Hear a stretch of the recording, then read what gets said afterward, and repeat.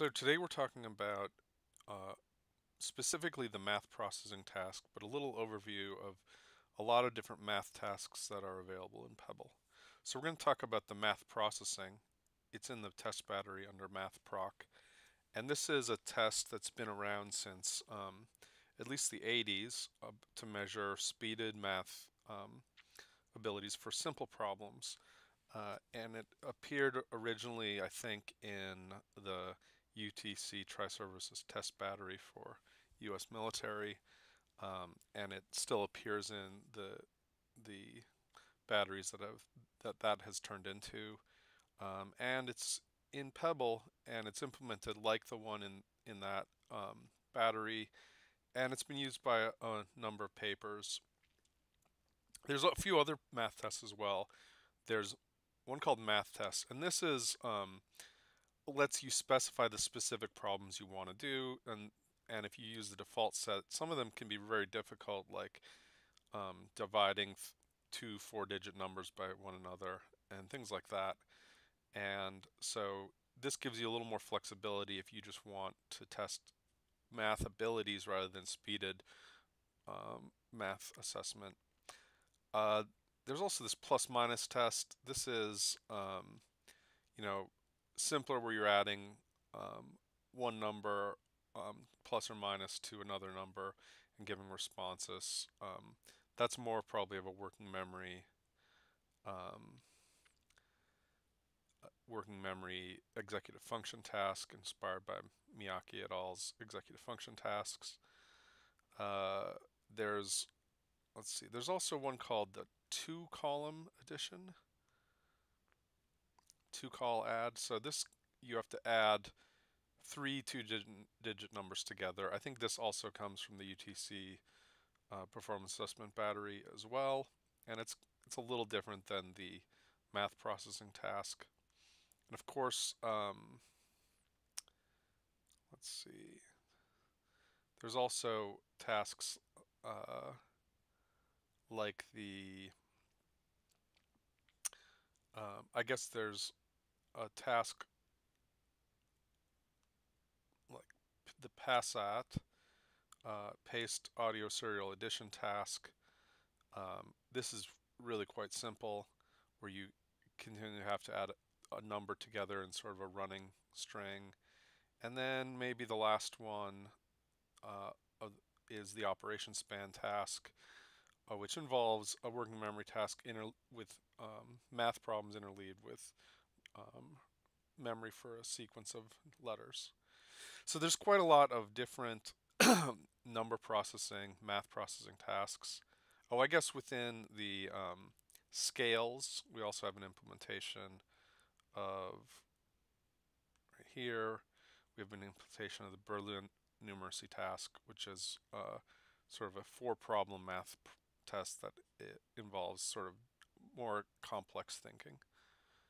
Um, so we're going to focus today on math proc, the math processing test, and it's been used on a number of studies. If we look up on Google Scholar, uh, it's cited several different times.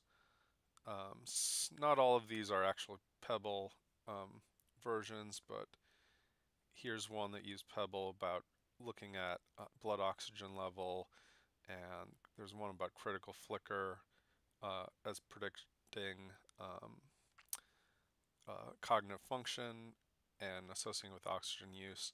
So um, people have used this several times to link to physiological or um, underpinnings of cognitive function.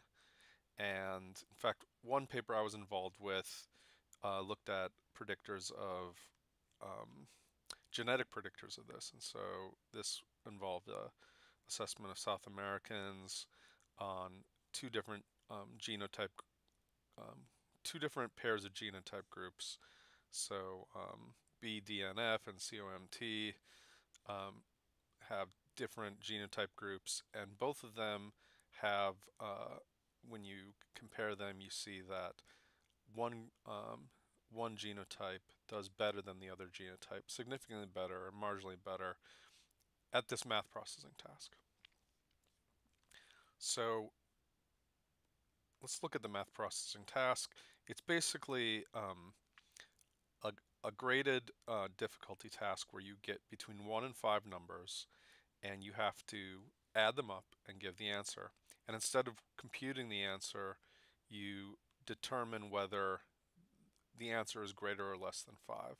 So all the answers are going to be between, by default, 1 and 9, without 5 as one of the answers. And so we can then look at um, how fast you can make that as a as a function of how many problems there are, or how complex it is, maybe how many minuses there are in there, and things like that. Excuse me. So if we look at math processing, the first thing we want to check out are the parameters, the ways you can um, adapt this task to your own needs. So by default, um, you do a three minute block for each different problem size and um, you can specify whether you want to do one length one, two, three, four, or five. Length one is kind of is by default off, but this would might be an interesting control because it's just a now this is just a is your number greater or less than five. Um, it's a single number judgment. Um, and you can do length one, two, three, four, five. Here I have customized this so like the default just does length two, three, and four but I've customized it so it does 1, 2, and 5. And I also have a block time, which by default is 3 minutes or 180 seconds. So I've shortened that to 30 seconds so that I can do this during uh, the video without being too boring. So you have to do this problem and answer less than or greater than 5. And you have a deadline for each one. And these deadlines work pretty well for um, you know, normal, educated uh, populations if you're using children or maybe if you're using elderly or a um, a clinical population, you might want to make some of these larger because they may have trouble, more trouble, and you and you want to give them more time. But um, these, I think, are the ones used in the Perez description, and they're pretty reasonable. You usually can answer this, and you'll see that that I'm probably going to be, um, you know, 90, 80 to 90 percent um, able to give the right answer within these times.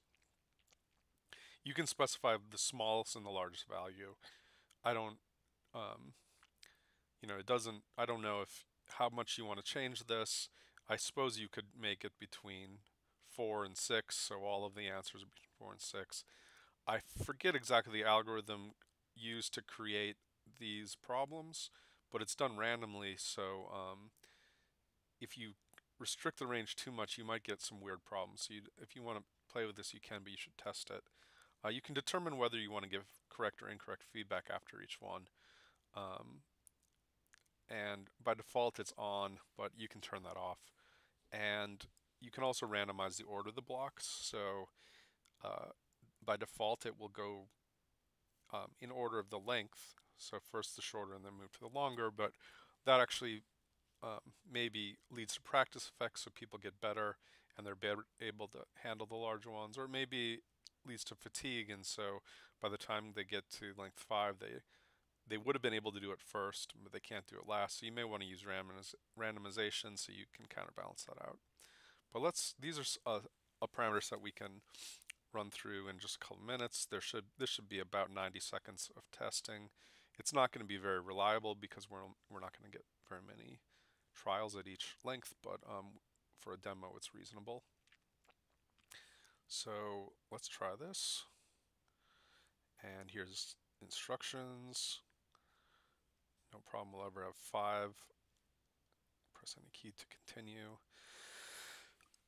you can see that it says it will last for three minutes. I've changed that in the parameter settings, but if you want to change that, you should also change it in the instructions, and I'll show you how to do that in a minute. Okay, so there's three pages of instructions and let's get started. Block one, the problems in this block will have one numbers. You have a deadline of 1.5 seconds to solve each one. Good luck, press any key to begin. So we have 6 is greater than 5, 9 is greater than 5. So I'm just hitting left and right, the left and right shift key um, in each of these. I oh, made one error. in each of these cases based on whether it's greater than or less than 5. And again, this is maybe more like a control condition because there's no math involved, but it's uh, maybe a reasonable baseline. You can compare the best case scenario if there's no math involved, what the timing and accuracy would be, and you can see how that's impacted by more complicated problems. okay, now we're going to do two numbers. So um, to do well in this, you actually, I've learned you don't have to actually solve the problem. Um, like for many things, it's obvious if it's going to be greater or less than 5. Like if it's a number, if you have a number that's greater than 5 and it's added, it's always going to be greater than 5. And so um, many times um, the math um, is you don't have to solve it to, to actually um, answer correctly. So that might be an interesting thing to look at if there are um, qualitative predictors of whether, of speed versus ones that you actually have to solve it. So for exam example, if you have two numbers less than 5 and you add them together, then you, you don't know if it's going to be less than or greater than 5 and you sort of have to solve it. But if you have two numbers um, if you have one number greater than 5 and then there's just an addition, you can say it's greater than 5 without having to sort of solve it. And I bet you that would actually predict performance. Similarly with subtraction, if you subtract a number less than 5 um, from a number less than 5, another number, it's got to be less than 5. All right, now we're going to do a tough one, five problems. Five, three, okay. Okay, that was incorrect. And um, I, I am feeling the pressure of timing here, so I don't, I'm trying to basically get it right, but um, I'm actually guessing frequently. Okay, so that's it for this. I had three 30 second blocks. By default, it would be three minutes. You could probably make it longer and you probably would get uh, more reliability. Um, so let's look at what the data looks like. Um, we'll open the data folder and I just ran subject 15. So we get two files here for each subject. One is a report that's only generated at the very end. So if for some reason they don't make it at the very end, it won't um, be complete. So um, here is, uh, I have length 1, 2, and 5, and I did 23, 19, and 7. Uh, I made 22, 16, and 7 correct. Uh, I made 1, 3, and 1 errors, and in this case, there were two too slow errors, but no other two slow errors. And that means there was one error that was committed, meaning I, I gave the wrong answer rather than not making a response in time. Overall accuracy 95, 84, 85, or 86. Mean response time goes up, uh, and me median response time goes up as well. Let's see, I did this yesterday too, so let's see how consistent my results are across two runs of this. So 23 this time, 24 last time, 19, 17, 7, 6. So the timing is about is fairly consistent even within a 30 second period. Total correct 22, 15, 5, or 23, 15, 5, 22, 16, 6. Um, errors here, these were all too slow errors, no committed errors. 95% accuracy, or 95.8 versus 95.6. 88 versus 84, 83 versus 85. So it's fairly consistent. This was a little faster for the small ones, but a little slower for the longer ones. So um, this would be a, a good way to just get a good summary statistic for individuals, maybe in a clinical setting where you just want that one number, and the PEBL system does that for you. But you but you might want to analyze the data yourself, and so the data um, for every trial are going to be in this file, this CSV file and you can see every um, response has its own row in this uh, data set. From subject number to trial, feedback just means that feedback was given on every trial.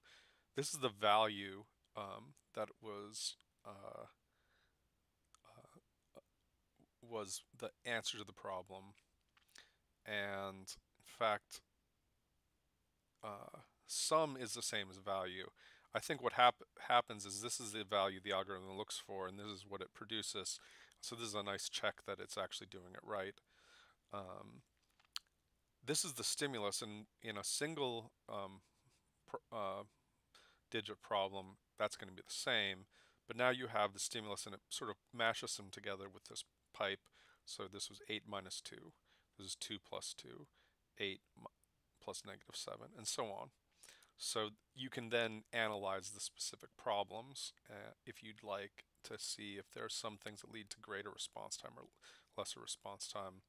This tells you if it was correct. This tells you if it was too slow. Um, this is the absolute time.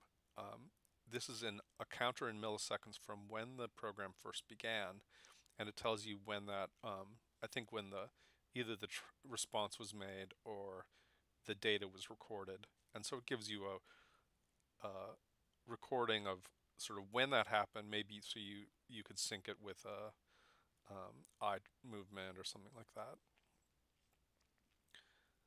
Finally, we have response time, the response time for each trial, and you can see that um, well, when I failed, the response time is the timeout. Here's one where I did not make a response.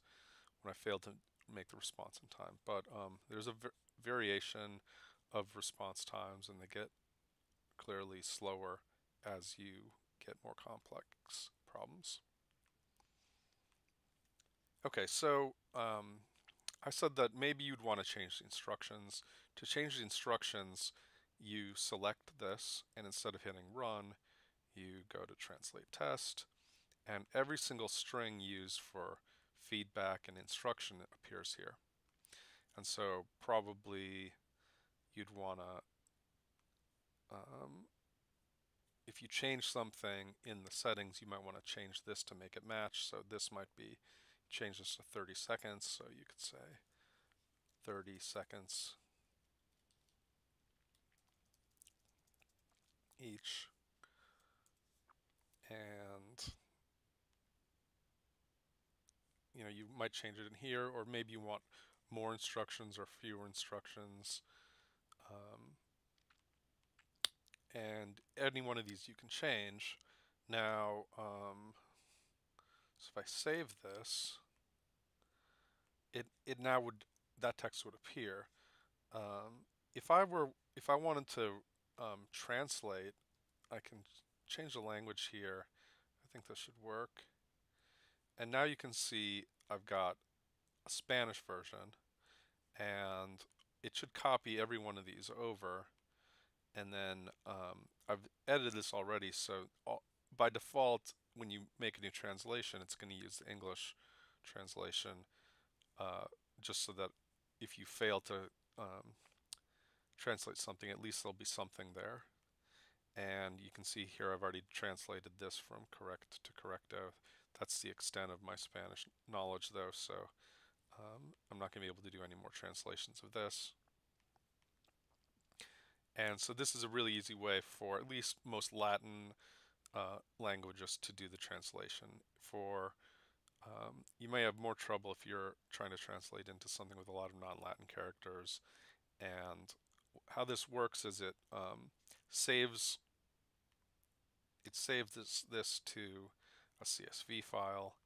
So many times, see we have a Spanish one here now, and it has sort of a key text um, comparison, and you could open this up in a spreadsheet and translate it if it's easier to do in your language of choice to give translations that way. All right, so I think that's that covers the PEBL math processing task and um, gives you a flavor for some of the other math tasks that are implemented and available in PEBL. And from what I can tell, no one has actually um, compared and correlated performance on these several different tasks. And that would be a really interesting project to see um, how reliable they are and how intercorrelated they are, if these are tapping into different aspects of mathematical ability or if they are sort of tapping into similar aspects or how distinct are they across people. So anyway, the, that's the PEBL Math task and you can download this at pebl.sourceforge.net.